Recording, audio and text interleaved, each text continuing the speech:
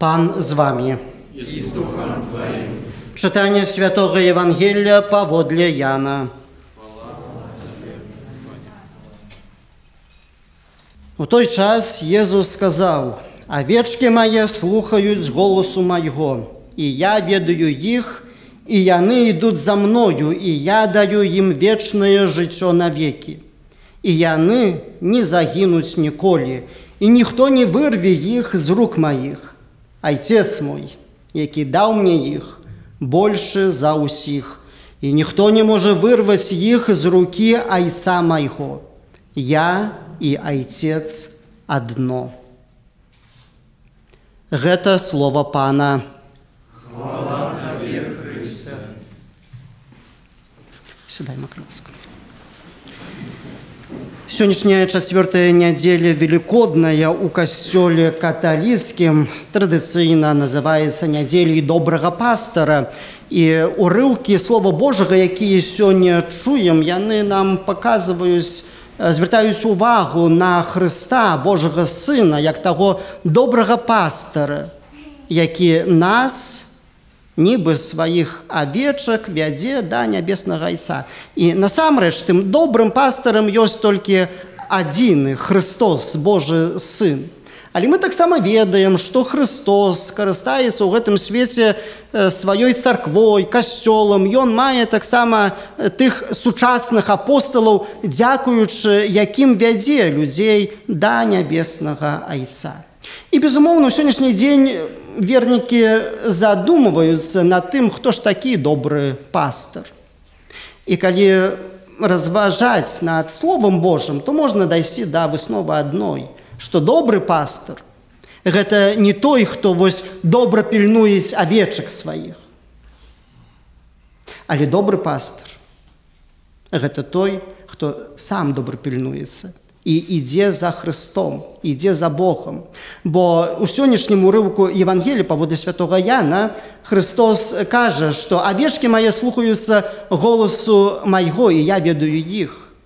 Зрэшты, каб быць вось тым добрым правадыром для іншых. Самаму трэба быць тым, хто чуе голас Божы, хто прыслухоўваецца да голаса Божых, хто прапаведуе не сваё вучэнне, але толькі вучэнне, якое абапіраецца на Евангелію. Бо калі чалавек э, імкнецца, нібыта усклаўшы на сябе місію добрага пастара уратаваць сваю свой касцёл сваю царкву то тады можа ён з добрага шляху збочыць і пачаць маўчаць тады калі трэба прапаведаваць альбо таксама каб дагадзіць зямной уладзе пачне гаварыць таго што чаго не напісана у евангеліі мы сёння ведаем таксама што ёсць нібыта такія пастары і іерархі, якія нават пачынаюць апраўдаваць агрэсіўную вайну. Гэта абсурдальныя рэчы. Але такія людзі не тое, што не могуць называцца пастарамі, хоць і ёсць іерархамі ў царкве касцёлах быць можа. Але яны наогул не могуць называцца божымі авечкамі, Таму што не чуюць голаса Божа. Паўстае пытанне, а што ж рабіць, каб пачуць голас Божий? некаторыя скажуць ну што ну біблія гэта такая ну вялікая кніга можа зашмат мне чытаць і зашмат трэба прачытаць каб пачуць гэты голас біблію варта чытаць і на не падмане гэта ёсць крыніцы мудрасці Божай але кожны з нас нават не чытаючы біблію мае магчымасць пачуць голас Божа вельмі добра дастаткова толькі прыслухацца да свайго сумлення як пачуеш сумленне сваё то пачуеш, што табе кажа Бог. І калі будзеш чуць гэты голас, то і будзеш добрай авечкай, і тады ўжо незалежна ад таго, які э, маеш род занятку ў гэтым свеце, выканаеш добра сваю зямную місію, якую прадугледзеў табе для выканання сам усявышні Господь. Важна чуць голас сумлення. І тады Господ, робіць вялікія справы ў жыцці у тваім. Ведаеце прыемна ёсць, калі развітыя калі пры развітанні з памерламі ёсць што ўзгадаць добрага пра таго ці іншага чалавека. Ваша прысутнасць тут браты і сёстры сведчаць аб тым, што вам таксама ёсць што ўзгадаць пра спачылага станіслава, з якім развітваемся сёння тут у варшаве на малітве. І гэта вельмі добра.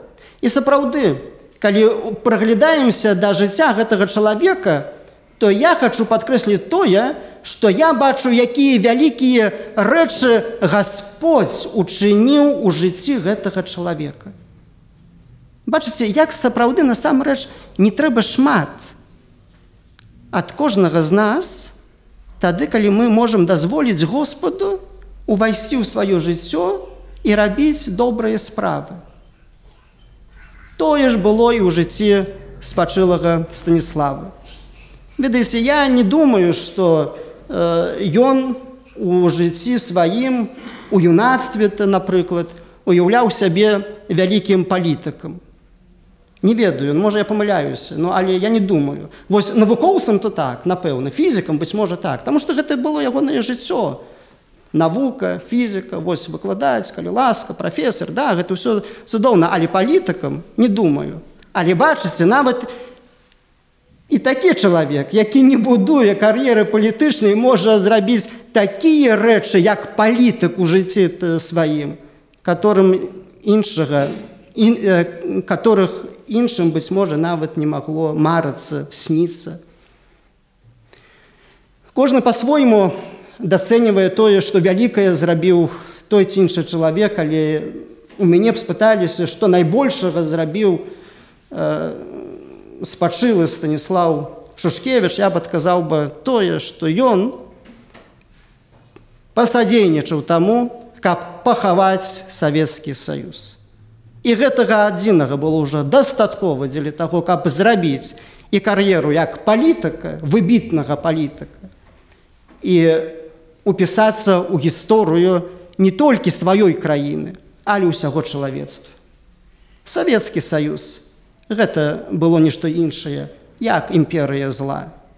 І святы Ян Павел другі, якім таксама ў свой час захапляўся пропаведзю, яшчэ будучы ў кракаве спачылы Станіслав, таксама у сваёй адной з апошніх кніжак у кніжцы памяць і тоеснасць Савецкі саюз так і называў імперыяй зла. І дастатковага было вось аднаго гэтага подпіса таксама між іншым, і спачылага станіслава шушкевіча каб савецкі саюз перастаў існаваць каб гэта імперыя зла якая прычыніла сапраўды вельмі шко... вельмі шмат шкоды і для нашай беларусі каб спыніла сваё існаванне. Як гэта сталася то магчымым? Гэта магчыма толькі тады калі чалавек ачыняецца на дзейнасць бога на супрацоўніцтва на з Богом, калі ён разумее, што ў гэтым свеце не ён ёсць цэнтрам усяго, але ёсць таксама усявышні, на якога, на якога трэба азірацца, ідучы наперад у сваім э, жыцці. І безумоўна, у гісторыю Беларусі ён увайшоў таксама як той чалавек, які таксама аддаваў свой голас падчас галасавання парламенце за незалежную Беларусь. Ён быў першым кіраўніком незалежнай Беларусі. Але гэта быў высокародны чалавек. Ён не трымаўся сінімі пальцамі за уладу. Я не бяруся ацэньваць, наколькі мудрую палітыку ён праводзіў, ці трэба было ўтрымоўвацца пры гэтай уладзе ці не трэба, але толькі трэба звярнуць увагу на ягоныя шчырае сэрца, што для яго ўсё ж такі ўлада не была тым вось прыярытэтам у жыцці. ёсць рэчы больш важныя. Больш важнае гэта тое, калі ты пазастаешся чалавекам, калі ты думаеш пра рэчы больш духоўныя. Я ўпэўнены, што гэтаму б чалавеку з ягоным інтэлектам хапіла прозуму, каб збудаваць сваё жыццё такім чынам, каб мець пенсію, пра якую іншыя маглі б марыць, але не ў пенсіі ёсць шчасце. І ён прыняў гэтую знявагу таксама, калі у прынцыпе не меў, ты не меў гэтай пенсіі. Гэта ёсць таксама ну, пэўны сімвал, пэўны, пэўны, пэўны знак. Але тое, што ён гэта прыняў, ну у гэтым ёсць таксама ягоная высакароднасць Ці ён не мог уявіць такое, што калі вось аддасць уладу мірным чынам, што напаткае яго, конечно мог. Але для яго гэта было непрынцыповым. І вось калі такія пералічваем дробныя рэчы з жыцця гэтага чалавека, сапраўды я як веруючы чалавек, я захапляюся тым, якія вялікія рэчы можаць рабіць Господь у жыцці кожнага з людзей тады, калі чалавек прыслухоўваецца да свайго сумлення. Калі ён здольны адрозніваць добро і зло і выбіраю ў гэтым свеце добро. І тады таксама пра такога чалавека ёсць светлая памяць. Напэўна, шмат хто з вас таксама чуў словы э, развітальныя э, быўшага мітрапаліта тады ўжо кандрусевіча які ён прамаўляў учора падчас пахавальнай святой імшы у мінску. І ён як вось быўшы кіраўнік касцёла таксама выказваў э, спачыламу станіславу удзячнасць за тое што ён будучы кіраўніком краіны спрыяў у адраджэнне рэлігійнага жыцця Ён спрыяў таксама ў тым, каб вярнуць маёмасць вернікаў вернікам і ў гэтым ёсць справядлівасць. І гэта вельмі важна, калі палітыкі кіруюцца прынцыпамі э, справядлівасці. Бо калі ты імкнешся, каб у краіне была справядлівасць, то тады ў краіне будзе таксама і мір. А калі вось няма справядлівасці, калі не да законаў, то міру ніколі не будзе. Таму што мір ён паўстае тады, калі ёсць справядлівасць, гэта плён справядлівасці. І ў гэтым ёсць мудрасць палітыку. І вось такую мудрасць спачыла станіслав праяўляў. І таму таксама сёння вернікі іерархі дзякуюць за тое, што ён зрабіў яшчэ ў 90 гады, калі між іншым спрыяў таму, каб вярнуць католікам і храмы ў мінску і таксама э, будынкі духоўнай семінарыі у, у горадзе гродна. І гэта ўсё кажуць аб тым, што сапраўды Господь здольны рабіць вялікія рэчы ў жыцці кожнага чалавека. Але трэба перадусім быць вось тым вось той паслухмянай авечкай Божай. Трэба слухаць голасу Божага. Трэба слухаць голасу сумлення і калі будзем слухаць голас сумлення, то тады Господь і ў нашым жыцці здольны зрабіць вялікія рэчы.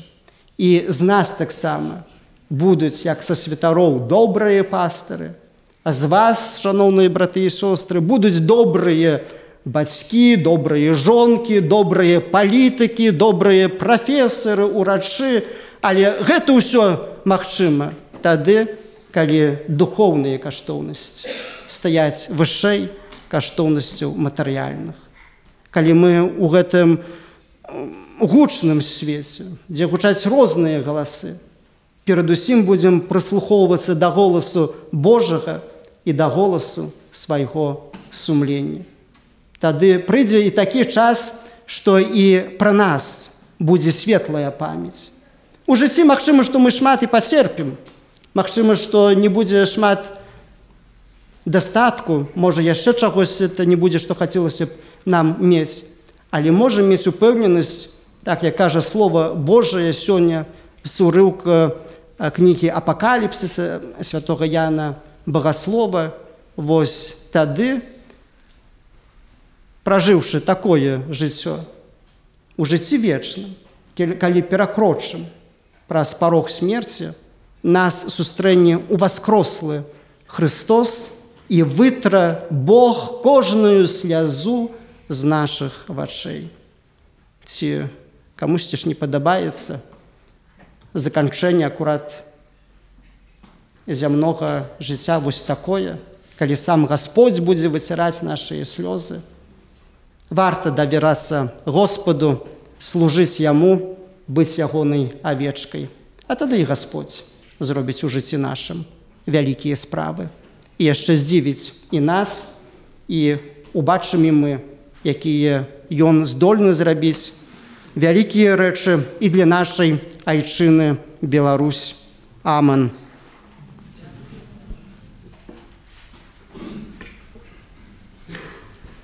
Вызнаем нашу веру.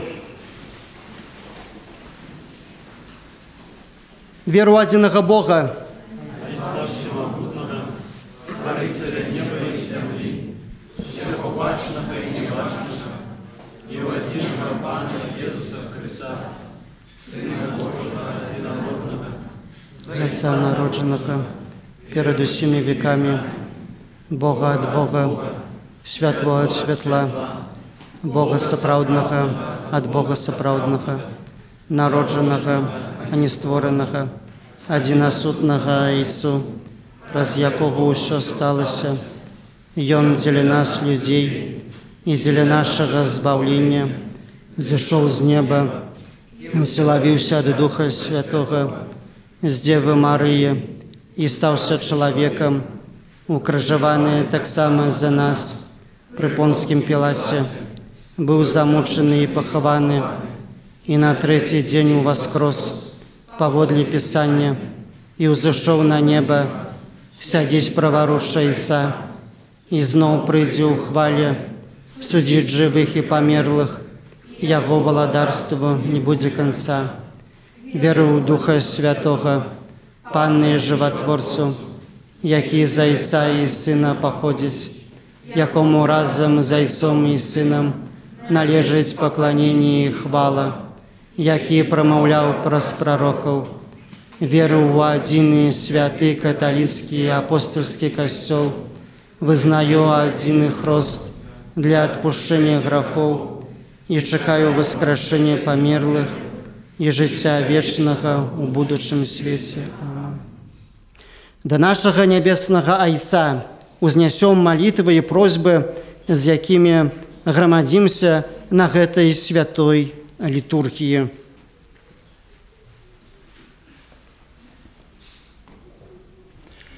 Молимся за царкву Христовую, якую Єзус заснаваў і умацаваў сваёю святою крывёю на падмурку апосталаў і вучняў.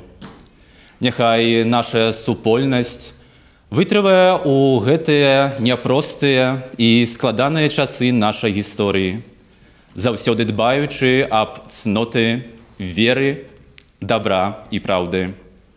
Цябе просім,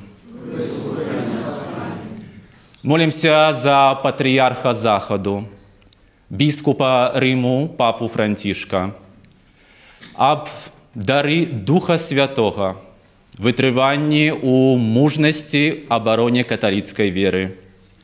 Нехай виступаючи на міжнародних форумах, як глава нашого костьола, ён притримлюється євангельської правди і откидывая гнилые компромиссы паліткоректності і фальшивых ідэалогій, якія сёння падсоўвае нам сучасны свет. Цябе просім. У нядзелю добрага пастара. Молімся за ўсіх тых, хто пачуў і распазнаў пакліканне ў сваім сэрцы, за біскупаў, прэзбітэраў і д'яканаў, за кансекраваныя асобы, за ўсіх тых, каму паверана паства ў іх пастарскую апеку. Няхай, углядаючыся ў прыклад вучняў нашага настаўніка Езуса Хрыста, яны заўсёды будуць узорам да наслядавання для ўсіх нас. Да гэтай інтэнцыі далучайма просьбу і памяць аб тых святарах, якія сёння пакутаюць у Беларусі церпячы з-за несправядлівага пераследу бязбожнай улады, за ксяндзоў каталіцкага касцёла, святароў праваслаўнай царквы, айцоў грэка-каталіцкай супольнасці, баптысцкіх пастараў, якія, нягледзячы на тое, што пазбаўленыя свабоды на целе, застаюцца свабоднымі ў сваім сэрцы. Цябе просім, 8 траўня у еўрапейскі дзень памяці ахвяраў усіх тых, хто палёг на франтах другой сусветнай вайны. Узгадайма усіх пакалечаных, забітых і зніклых падчас усіх войнаў. Да гэтай інтэнцыі далучайма нашую просьбу аб супакоі для нашай братняй Украіны, аб мірнае неба над галовамі ўсіх жыхароў, якія мужна абараняюць сваю радзіму, адстоўваючы дабрабыт і праўду. Цябе просім. Молімся за нашу бацькаўшчыну, за Беларусь, якая перажывае чарговы складаны перыяд нашай гісторыі. Для таго, каб кожны з нас, які пачуваецца ў сэрцы і свядомасці, прыналежным да беларускага народа, зрабіў адпаведны рахунак сумлення. Ачысціў сваё сэрца і душу ад скверны, каб стаў перад самім сабою, людзьмі і Богам у чыстаце і праўдзе. Цябе просім. У інтэнцыі сённяшняй эўхарыстыі, у якой нашая супольнасць цэлебруе гэтую вечаровую літургію, святой памяці Станіслава, чыя зямная пілігрымка дабегла да свайго лагічнага завяршэння, якога пан паклікаў да свайго валадарства складаем сёння даніну павагі вялікаму беларусу і сыну беларускай зямлі. Няхай ён заўсёды застанецца у памяці сваіх студэнтаў і калегаў як мудры выкладчык і таленавіты вучоны. Для паплечнікаў па палітычнай дзейнасці як шчыры палітык, для сваякоў крэўных і блізкіх як кахаючы муж, тата і дзядуля для ўсіх нас, якія пачуваюцца прыналежнымі да беларускай нацыі, як чалавек, які спрычыніўся да завяршэння панавання імперіі зла на нашай зямлі. Просім усімагутнага Бога, няхай ачысціць яго найсвяцейшую крывёю свайго адзінароднага сына, каб кожны з нас таксама меў надзею ў нашым сэрцы на паноўную сустрэчу са станіславам, каб мы скарысталіся з гасціны, нябеснага валадарства, цешачыся, аглядаючы пана Бога тварам у твар. Цябе просім. І ўрэшце молімся за ўсіх нас, якія сабраліся сёння, каб цэлебраваць найсвяцейшую літургію, за прадстаўнікоў нашай каталіцкай супольнасці, за вернікаў праваслаўнай уніяцкай і пратэстанцкіх дэнамінацый супольнасцяў і церкваў, за ўсіх людзей добрай волі, за ўсіх тых, хто пачуваецца сёння маральна абавязаным прысутнічаць у нашай супольнасці. Няхай углядаючыся ў полымя пасхальнай свечкі, якую наша грамада запаліла ў пасхальную ноч, мы ачысцім свае сэрцы і душы. Дзеля таго, каб, будучы пад амафорам найсвяцейшай панны Марыі, мы атрымалі разам з вучнямі пакутнікамі і усімі апосталамі нашага пана Езуса Хрыста венец адкуплення, каб мы ішлі да збаўлення, трымаючы ў руках паходню праўды і добра, каб зноў сустрэцца ў вечнасці і праслаўляць нашага Бога. Цябе просім. Усімагутавечна Божа мы верым, у валадарства Божие і тое, што для нас падрыхтаваны ёсць там месцы. Але просім цябе благослови у гэтыя дні нашу бацькаўшчыну Беларусь і усе дні нашага зямнога жыцця Христа Пана нашага. Амин.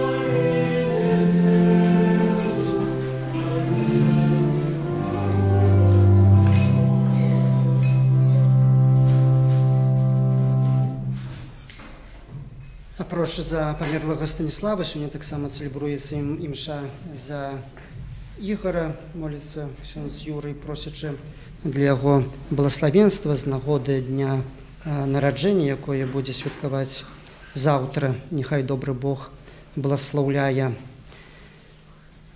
Маліцеся, браты і сёстры, каб маю вашу ахвяру прыняў Бог Айцец усімагутны.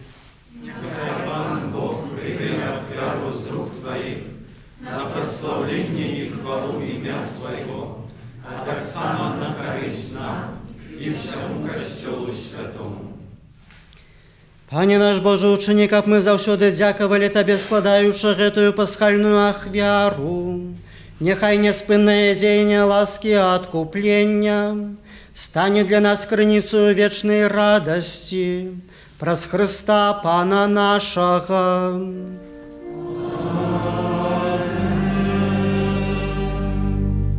Паган з вагамі.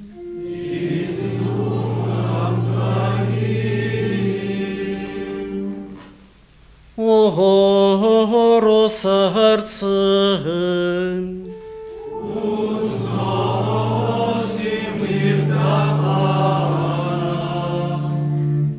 Подякуєм Пану Богу нашому.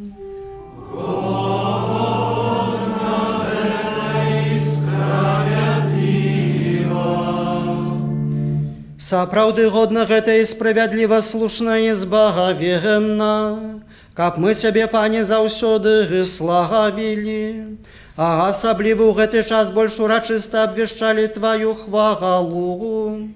Калі Христус быў ахвяраваны, як нашая пасха, Ён перамог грэх і смерць, аднавіў усё стварэнне, і нам вярнуў страчанае жыццё таму.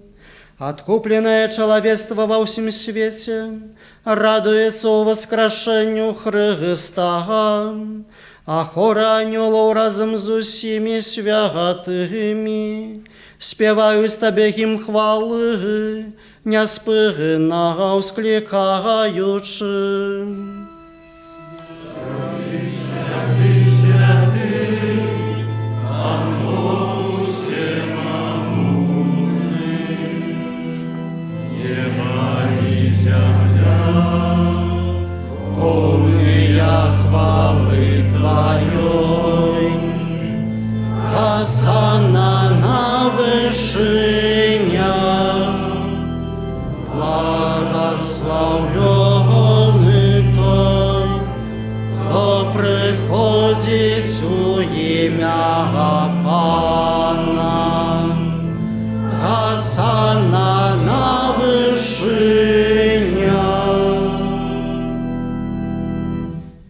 Сапраўды Божа ты святы крыніцы усялякай святасці. Таму ў еднасці з усім касцёлам у першы дзень тыдня, калі Езус Христус у воскрос і спаслаў на апосталаў Духа Святога, праз Хрыста просім цябе усімагутны Божа.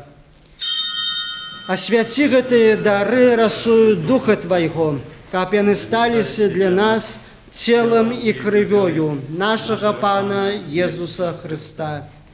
Ён, калі дабравольна выдаў сябе на мукі, узяў хлеб і падзякую табе складаючы, ламаў і раздаваў сваім вучням кажучы: Бярыце і ешце з гэтага ўсе, бо гэта ёсць цела маё, якое за вас будзе выдана.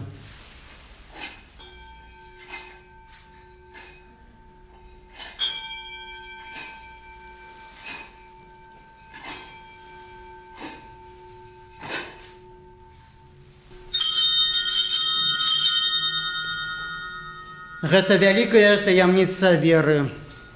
Обещаем смерть Твою, Пане Иисус, вызнаем Твое воскрешение и чекаем Твоего Христовая. Успамінаючы смерці з мёртвых паўстання твайго сына, ахвяруем табе пане хлеб жыцця і келіх збаўлення. Дзякуючы, што ўчыніў нас годнымі стаяць перад табою і служыць табе. Пакорна молім цябе, каб усіх нас, прымаючых цела і кроў Хрыста, Дух Святы сабраў у адно. Пам'ятай, пане, про костюл твой, розсіяний по всім світі, удосконали його у любові разом з папом нашим Францишком, біскупом нашим Казиміром і всім духовенством. Памятай таксама пра братоў і сясцёр нашых, якія паснулі ў надзеі на ўваскрашэнне. І пра ўсіх, хто ў твае ласцы адышоў з гэтага свету, дазволім убачыць святло аблічча твайго. Просім цябе, змілуйся над усімі намі. Каб мы заслужылі ўдзел у жыцці вечным. У еднасці з найсвяцейшай багародзіцай паннай Марыі, са святымі апостоламі і ўсімі святымі, якія спрадвеку падабаліся табе. Каб з імі і мы хвалілі і праслаўлялі цябе праз сына твайго Езуса Хрыста.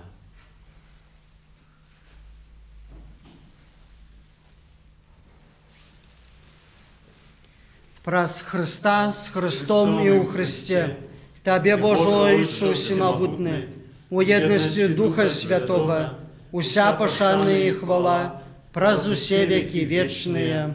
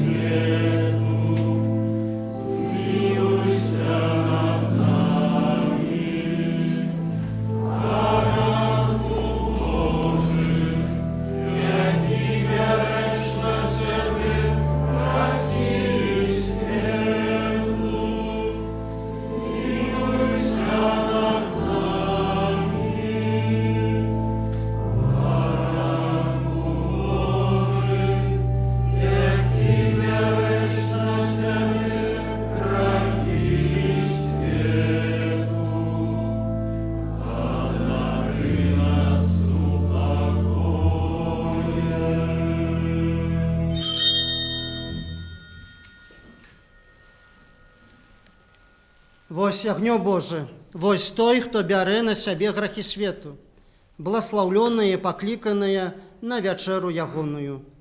Пане, я не варты, каб ты ўвайшоў да мяне, але скажы толькі слова і будзе аздароўлена душа.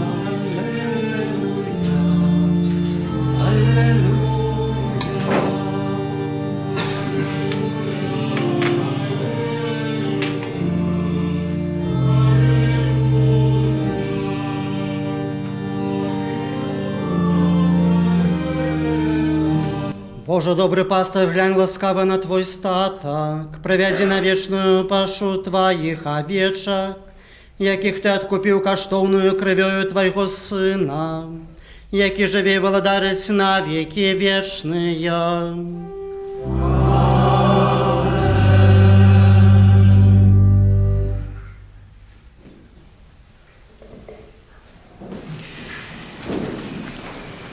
Шановныя, падчас сённяшняй малітвы павінен быў быць прысутным амбасадар Польшы ў Рэспублікі Беларусь гаспадар Артур Таміхальскі, аднак ён не паспеў вярнуцца з Беларусі ў Польшч. І ён прасіў з гэтай нагоды таму як сам не можа быць прачытаць той ліст, які 6 мая адресаваў прэзідэнт Польшчы Анджей Дуда. Таму паслухаем. Паважаная спадарыня Ірына, дарагая сям'я памерлага, паважаныя удзельнікі цырымоніі развядання са спадаром прафесарам усе нашы беларускія сябры. Навіна аб тым, што не стала спадара Станіслава Шушкевіча напоўніла маё сэрца вялікім смуткам. Пайшоў з жыцця чалавек, які быў сведкам і сааўтарам вялікіх гістарычных перамен, якія вялі Беларусь да незалежнасці і дэмакратыі, а таксама добрасуседскага супрацоўніцтва. Ён быў таксама падпісантам пагаднення аб заканчэнні існавання Савецкага Саюза, самага значнага мірнага ге, геапалітычнага дасягнення два стагоддзя. Для палякаў ён застанецца сябрам, які вельмі цаніў наш наша польска-беларускае добрасуседства, якое бярэ свой пачатак у шмат векавой агульнай гісторыі. Я глыбока веру ў тое, што спадчына станіслава шушкевіча не прападзе і мы дачакаемся часоў калі яго іменем будуць названы вуліцы беларускіх гарадоў. Для беларускага народа з выдатным сынам якога мы сёння развітваемся. Польшча добры сусед і заўсёды ім будзе. Мы разумеем і паважаем каштоўнасць незалежнай беларускай дзяржавы, а таксама значэння ідэнтычнасці і мовы нашых дарагіх сяброў беларусаў. Я развітваюся з сябрам свабоды. Я развітваюся з нашым добразычлівым суседам, са смуткам Анджай Дуда. Развітваемся сябры з дастойным сынам беларускай зямлі. Як узгадываў учора быўшы мітрапаліт Тадэуш Кандрусевич, Станіслав Шушкевич перажаваў аб тым, каб пра Беларусь не думалі кепска, але толькі ён сам ганарыўся сваёй айчынай і рабіў усё дзеля таго, каб імя Беларусі добра было прапісана у сусветнай гісторыі. У нашым касцёле пры ўваходзе знаходзіцца жалобная кніга з нагоды смерці Станіслава Шушкевіча. Там можна пакінуць добрыя словы пра памерлага чалавека і пакінуць свой таксама подпіс. Я усім вам вечна вельмі ўдзячны за гэтую малітву, памінальную за спачылага Станіслава. Безумоўна, сёння мы молімся не толькі за спачылага быўшага першага кіраўніка незалежнай Беларусі, але молімся таксама за ўсю нашу Беларусь. Я зычу вам, шаноўныя, каб калі надыдзе той момант вашага пахавання, пахаванне адбылося дастойна і на вашай труне таксама знаходзіўся бела-чырвоны белы сцяг. Але няхай Господь дасць вам яшчэ больш, чым э, зычу я, няхай таксама Господь дазволіць вам крыху яшчэ пажыць таксама пад сцягам вольнай беларусі бела-чырвона-белым сцягам няхай гэта збудзецца гэтаму варта сваё жыццё таксама прысвяціць. Няхай у гэтым благословляе Господь. Для парафіянаў я яшчэ прыгадываю што у чацвер у нас адбываецца супольнае набажэнства маёвае. Запрашаю на малітву гадзіне 18 наступны раз у нядзелю молімся як звычайна гадзіне 11:30 і ўвечары гадзіне 18 тут у гэтым вось э, касцёле і за яшчэ раз складаю зычэнне для нашага парфіяніна ігора з нагоды дня нараджэння 56 гадоў мы за яго сёння маліліся няхай добры Бог таксама яму благословляе пасля благословенства прогучыць яшчэ гімн магутны Божа прыміце Божае благословенства